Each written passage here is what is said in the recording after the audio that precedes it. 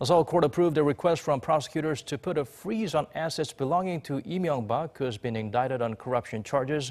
The former leader will not be able to conduct any financial transactions while the freeze is in effect, which would presumably be until the case is closed.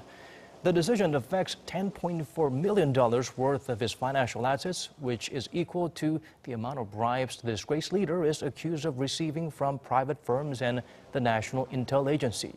He was arrested in March and was indicted last week on 16 charges, including bribery, embezzlement, and abuse of power.